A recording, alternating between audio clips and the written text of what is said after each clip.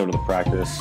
This week we're working on a super simple character design and some IK rigging. So here, getting into the IK immediately. So we're setting up some capsules here, both in the arm and the leg position. I'm making sure there's plenty of subdivisions so that'll bend nicely when we get to that point. Now we're going to a side view and we're going to add a spline that has three points to it. And we're going to center that, zero it out, get it centered on the capsule itself, and align it so it's the same length. So you'll have a little error here. And then I'm going to add a spline wrap to the capsule and, and drop that spline into the spline wrap so things sort of align. See how we're lining everything up because we're having an error. Then if you grab the central one, you'll see that we can create sort of a little elbow here. Then onto that spline, we're going to go into the tags. We're going to add an IK tag. Make sure that's set to, to 2. And if you want more details on this and a really thorough explanation, I, I encourage you to check out uh, EJ Hassenfratz and, and uh, eyedesyn. He, he goes through this really uh, in depth more so than I'm going to do here. So you see we're setting another one up for the leg, three points, making sure everything's zeroed out. Then we add a spline wrap to the capsule. We drop the spline into the spline wrap. Make sure that arrow is pointing down on the spline wrap because that's going to give us the orientation we need. A little bend for the knee. Drop in that IK, set your points to 2, and add a goal. You see that everything's moving around nicely. And then what I do is I got to make sure everything's organized. You got to make sure everything's named properly because I think the IKs will get confused if you don't. And I take the goals outside of the group and then I group the body. And what's cool is you can see that the body will move independently of what's happening with the goals. The goals will stay put. And those go, it, it becomes sort of like a simple puppet here to use. You got the two goals, which will represent the movement of the hands and the feet with placement of the hands and the feet, things will sort of stretch and move kind of naturally. What we're going to do is we're going to use these principles and this, this sort of rig, we'll call it, to do a simple little walk cycle. You know, we've done tons of walk cycles in the past on this show using Mixamo, and that's really great, but this is uh, it's going to be done by hand, which is, is kind of nice to do sometimes. It's, it's, I think the simplicity of this walk cycle is going to go well with the simplicity of the character. And as you can see, we're keeping it pretty rudimentary here. Lots of primitives sort of stacked on top of each other to get some basic forms for the body, but overall, uh, a really simple character design. And as we get in, we'll, we'll set up some lighting, we'll set up uh, We'll set up some background elements and we'll set up some looping ground elements actually that'll give it a nice uh, a nice feeling as if she's walking along sort of a, a landscape here. So modeling some hair, using those cloth NURBS to add some thickness to that. So it's a really nice move. I liked what Bulging was doing except for that point that I was adding to the top of it. So since it's covered by that bun, well, just remove that. And uh, by the way, I'll link to that uh, that eyedesyn tutorial, which will break down all the uh, IK stuff that we fast forwarded through on this episode in, in pretty great detail. So I will put that in the notes below.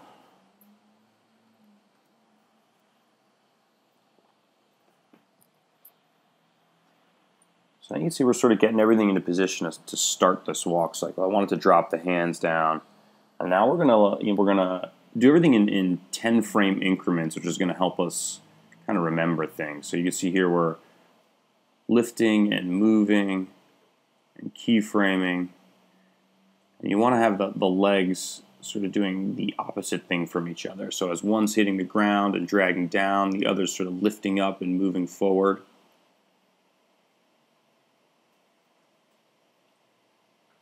and it really it can be really helpful to do everything in, in 10 frame increments. But we are going to keep this to a rather simple walk cycle. I know that a lot of the animation pros out there would probably you know set up the basics with a 10 frame increment and then sort of push and pull things along the timeline and get some easing in and, and uh, adding a, maybe a little bit more life to it than we did in this few hour exercise. So see there we've got an okay move to the to the legs, coming along nicely. And what we can also do is, and you'll see we'll do this in a minute, is we'll grab the body and add some keyframes and move that body up and down. But it won't break the walk cycle because the the goals for the legs are outside of the main group and they'll sort of move along with the body. You see, that's what we're doing here is we're adding a little bit of up and down movement, which makes it feel a bit more natural. So now you may be noticing here a little bit of an error in the way the knees are bending. And I'm trying to solve that with just uh, some of the settings here in the IK, the IK spline on these legs. Um, and sometimes that'll work just, you know, dialing in that twist and getting the knee oriented the right way. But um, it, it, wound up not working for us. In a little bit here, we're gonna we're gonna explore a solve for that using what are they called poles. So um, I think I've got it solved here. I'm going to continue with the walk cycle, and we'll go in and, and wind up adjusting that fix a little later. Here I'm adjusting the arms, their position, giving them some counter movement to the way the legs are going. Typically as the left leg moves forward, so does the right arm, and vice versa. I'm going to dial in the texturing here, add some hands. I noticed that after I added this hand that the, the spline wrap was actually backwards, so I reversed that.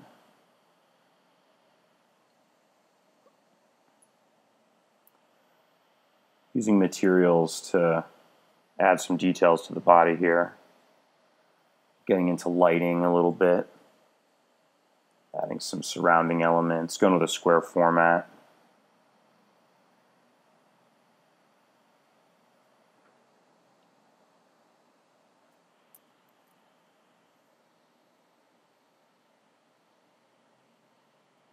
Making our own like fill light with a sky object and a luminant material. I found that the legs were still a bit thin there, so I just kind of thickened them up. We can see that what we're actually getting in the in the render window is different from the way the limb is bending um, in the model here. And that's when I get into this actual fix. And what I did originally was I created my own spline and drop that into the pole vector which is actually the incorrect way to do that. You'll see that that isn't really working for us. What you have to do is hit the create pole or generate pole, the same way you'd hit the create goal object. And what that'll do is create a little uh, a little spline or a little point that you can use to sort of orient the direction that the IK bends. After futzing around a little bit incorrectly here and trying to use that twist to solve for it.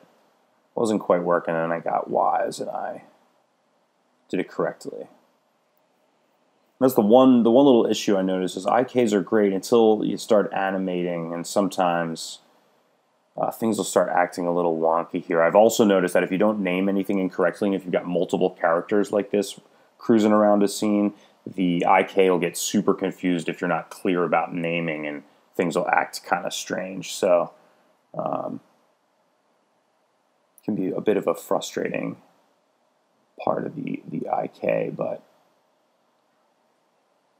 getting it solved here. Like I said, I'll, you'll, you'll, you can check out the link below. Um, EJ goes through all this stuff in, in great detail.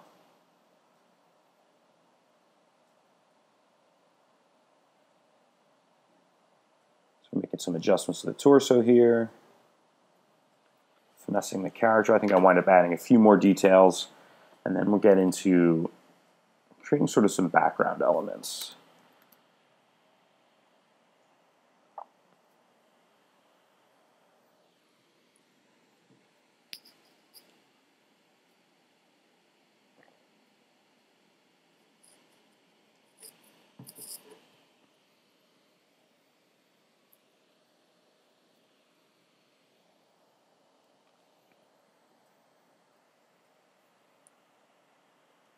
I really like these colors, but I wound up going with a different approach, adding more detail to the background instead of just sort of this flat room look. We're also adding a camera and sort of centering things up. Making sure our values look okay.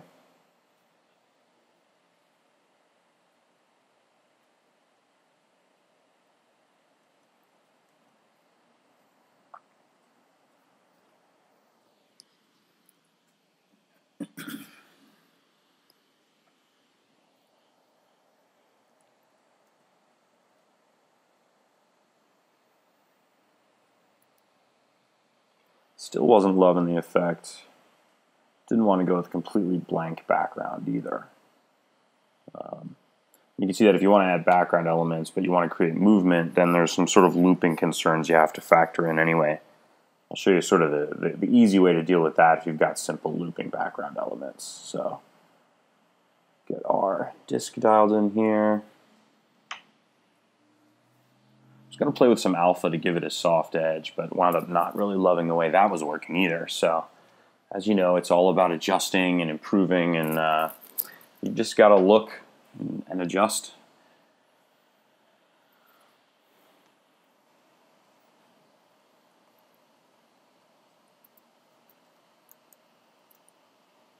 And here we go, we're continuing to get into adding these background elements that I was telling you about. Just got a little capsule. We move that around. We're going to make a, a, group of these in, in an orientation that we kind of like.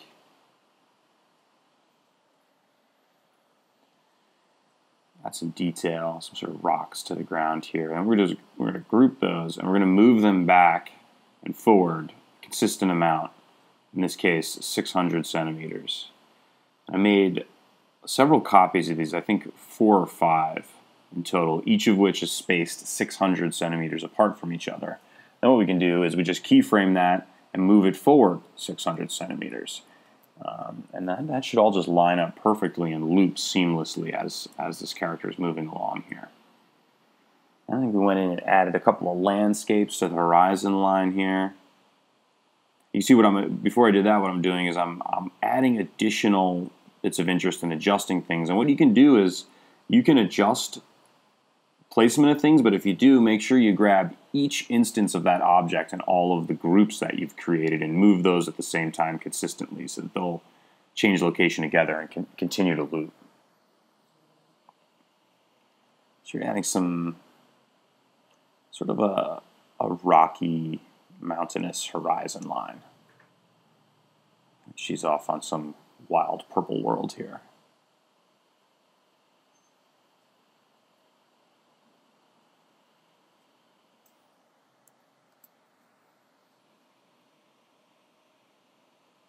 Adjusting, moving things along.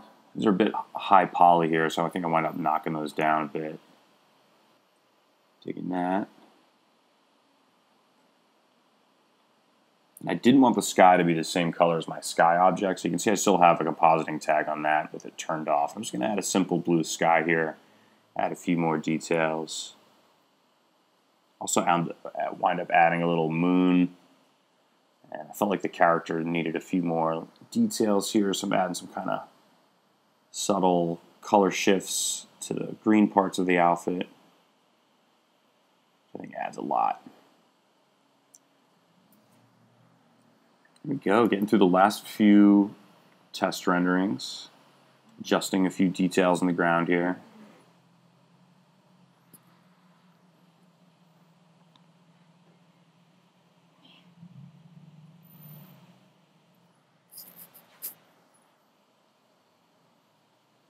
Here's that planetary moon kind of deal I was talking about.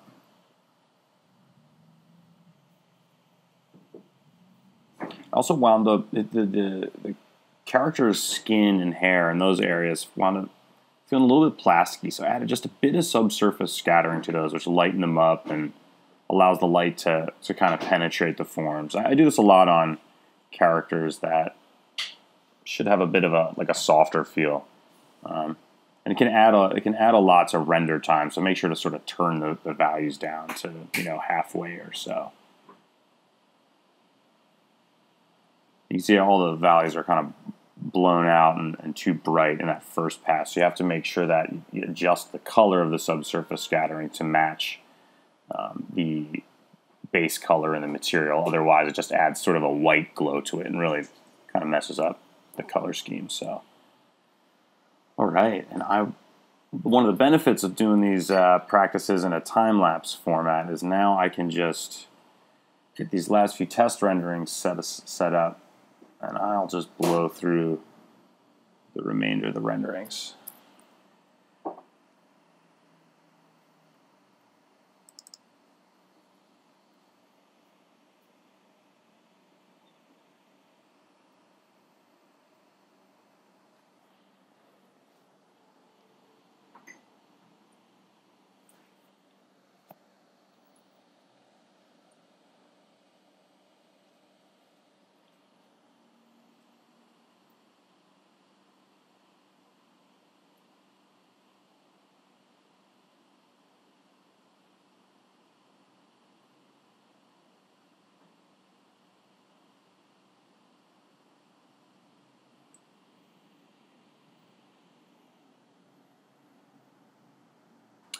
If you like this video, please hit like and subscribe. If you have any further questions, don't hesitate to drop one in the comments below. If you want to keep up with me and the work that I'm doing, please check me out on Instagram at DLGNCE. And until next week, this is Stuart saying goodbye. Thanks.